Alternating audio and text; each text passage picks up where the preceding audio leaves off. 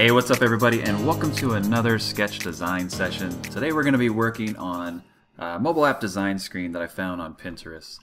Pinterest is a great resource by the way if you're looking for mobile app design inspiration. Just search that basically. You'll find a ton of good info, uh, lots of screenshots that you can grab and kind of practice and sharpen those skills. So speaking of sharpening those skills, we're going to be recreating this screen here. I'm going to break it down for you and show you uh, basically how they went about doing it. And I'm not going to recreate everything. Some of the text stuff uh, is pretty basic, so I'll skip over that. But we'll go over the, the, the rough estimate of the design. Not rough estimate, but the rough layout of the design. And I want to give attribution to the person that created this. This is Mateus Johansson. Check him out. Let's go ahead and click on this guy, drag it down to Sketch, and we'll open it up in Sketch and then get started uh, designing. Alright, so here we go. We have the screen. I'm just going to move this over a bit. Let's hit R for rectangle on our keyboard here. I'm just going to draw one out. And if you're looking for a course on Sketch, uh, maybe you're seeing this on Udemy in my course. You might be seeing this on YouTube. Uh, if you are watching this on YouTube, you can find the full course. Look at the link in the description. Check it out. I've got everything on the basics, mobile app design, logo design, Got lots of cool projects in there. Get you to be a uh, an advanced user in Sketch before you know it. Alright, so I'm going to click on this guy, our original here, and then in the upper right I'm going to look at the dimensions so I can kind of create my own little artboard. And it looks like it's 564 in width by 1003 in height. I got the height down because I dragged it all the way down. I'm going to click on this guy and just manually set this to 564. Bring it over just a little bit. Terms of colors, I'm just going to set this to white. I'll add a border, lighten it up just a little bit. And we're going to start with the technical side on the top here. And rather than recreate all these icons, which you could totally do in Sketch, just for the, the sake of time, I went out to the Noun project and grabbed some icons. And I'm going to give attribution to these guys. I've got a settings icon. Uh, and see where are the names. Do, do, do you can find the attribution text right here in the box. So there's the first one for the settings icon. I grabbed a, a really basic arrow. Just going to speed things up if I grab these. And there's the attribution. And then we've got the camera icon. And there's the attribution for that as well. Alright, so there we go. Let's jump back into Sketch. I'm going to grab those guys and bring them in. So insert, go to image here. And I've already got these saved and downloaded in a folder. Let's grab all three of those, bring them in. They are going to be a little bit big. Let's just stick them over here for right now, and I'll get them resized.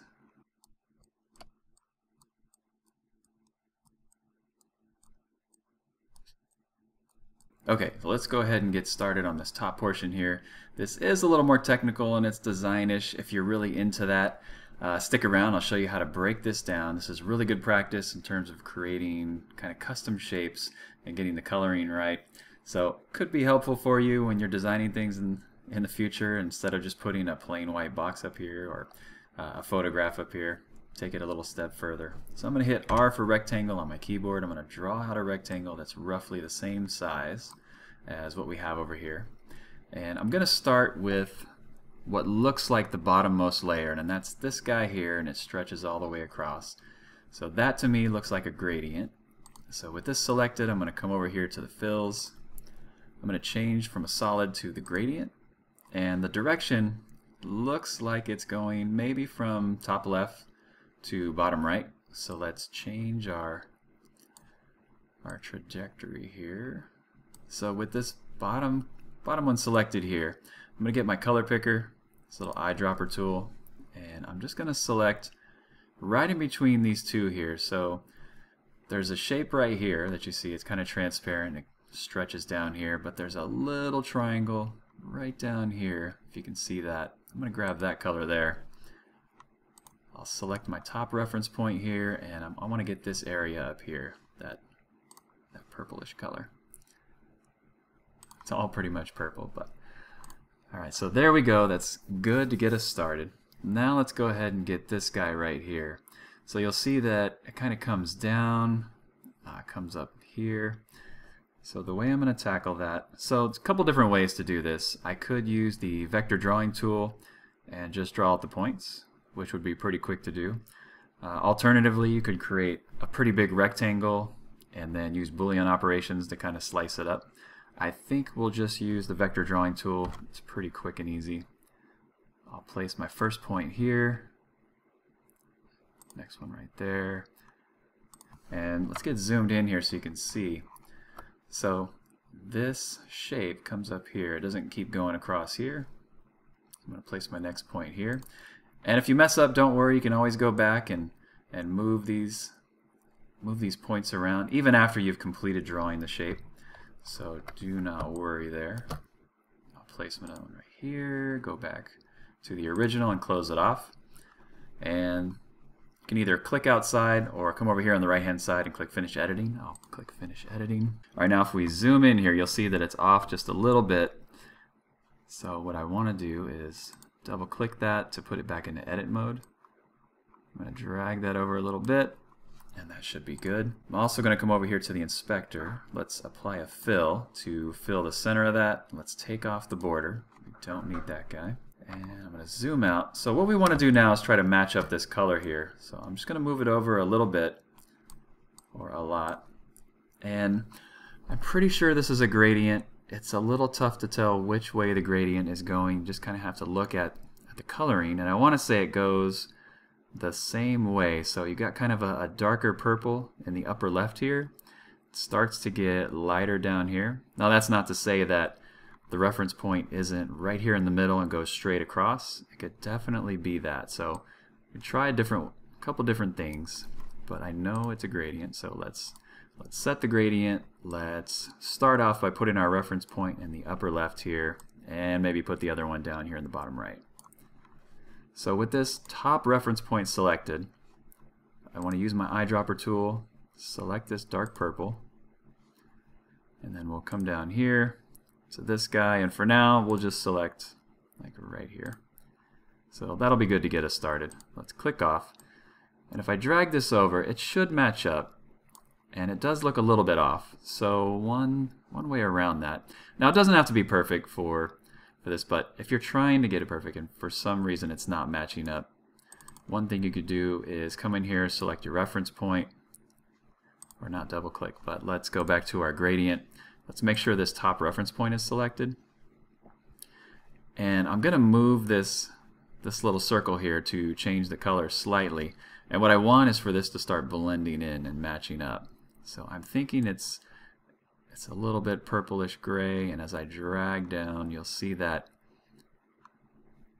it starts disappearing here, and the line, you, it's a little bit harder to see where that line is, which makes me think that maybe this reference point should be changed up. I'm not going to spend too much time on this, but just to show you how to figure things out in terms of coloring when you're trying to uh, recreate designs get a little bit better at this stuff. You can select that and just kind of click and drag this around until that line starts to blur a bit. So I'm going to leave that alone for now, and I think I'm happy with where it's at. Let's go ahead and move this over. Right about there is good. Now let's get this guy here. So this square here has a little bit of transparency to it because you can definitely see through here. This one might have a little bit of transparency to it as well, but I think I'm going to leave it as is. So for this guy, what we're going to do is let's get the vector drawing tool out again, and let's just draw this out. I'm going to say finish editing and kind of repeat this process, take out the border, apply a fill. Let's move this over. And in terms of gradients, I'm just going to keep going with kind of the left to right on this. So let's click this, apply a gradient. Let's move this reference point to the left. Let's move this guy to the right. Remember, we do want to place, uh, we do want to add some transparency to this. So with this left point selected, let's get our color picker. Let's go right to the point here. Get that selected, and then on the right hand side, same thing select that darker color. Let's click off. I'm going to set that over here where it's supposed to go, and then I'm going to lighten it up with the transparency. I'm going to keep going until I can see through these two here quite a bit. And that's about what I want. And that looks good. Alright, so next up we have this kind of rectangle here. So for this one, let's go ahead and create an actual rectangle. And we'll see what that looks like. So I'll hit R for rectangle on my keyboard. Let's draw something out that's kind of thick here, kind of wide. I'm going to click rotate up here at the top on my toolbar. Let's change the color of this to, let's go black, and then make it really opaque. I want to see through this quite a bit. I'm going to move this in line here. Let's get zoomed in. Hit command and just roll on my mouse. And then to move over, I'm just held, uh, holding the spacebar and then clicking and dragging around. So what I want with this rotate selected is I want this line here to have that same angle as what's behind it. So let's go ahead and take this right about there. And I want to say that's pretty good angle. I'm going to click off. Let's resize this. Okay, perfect. So now, let's get off of here. And then let's drag it over. Now, the angle necessarily doesn't have to be perfect right here because we can hide it under that shape that we have on the other side. But the angle does have to be right here. So the fact that it's right here makes it more right, right about there, if that makes sense. I'm to go ahead and drag that over here. It's about right there. And let's, let's pop a smart guide in here just to make sure that this is roughly where it should be. Maybe about there. And then I'll get rid of my smart guide. I'll right click, remove all horizontal guides. And I'm going to drag this guy underneath from my layers panel, underneath that path right there. So now it is going to be behind there. And you can drag it up and kind of behind there a little bit more. So with that guy selected, let's bring the opacity back up. Let's apply a gradient. And the gradient's going to go from left to right as well. Let's put this reference point right here, and I'm going to put this one. Come on. Usually it'll snap to this here, but that's fine. So with this point selected right here, and looks like it's adding some extra points, which I don't want. I'll just delete that. With this guy selected, I'll get my eyedropper tool. Let's come over here and just select. Try to select the color from the bottom, bottom of the shape here. I'm going to select my right reference point. Let's get the eyedropper tool. Let's go ahead and get that selected. Now I'm going to lighten this up and make it really transparent. So it matches up. I think right about there is good. Okay, so now to create this this custom shape, there's a couple different ways you can go about this. If I double click and put this into edit mode, I could place some points right here, right here and then delete these guys and hopefully it matches up with that line. Uh, a better way to do that would be to use your Boolean operations to create a custom shape. So what I'm going to do, what does that mean? uh, I need to have two shapes that I can select that I can create this custom shape. Now I have this bottom rectangle which I can use to slice this guy with, but I have to create a copy because I need to have two shapes to be able to do that. Let's go ahead and uh, hit Command D to duplicate this shape, which I just did. If you look over here in the Layers panel, I've got my my original rectangle. Now there's a copy here. I'm going to hold down Shift and I'm going to select this guy here. I'll go up to my Boolean operations, and the one that I want is intersect because I want the I want to keep the portion where these are touching. So if I click intersect, now I just have that. And I probably should have waited to apply the coloring to that because now it's changed and it's absorbed the color of the, the bottom layer. So let's go ahead and with that selected, I'll choose the gradient. Let's make it from left to right.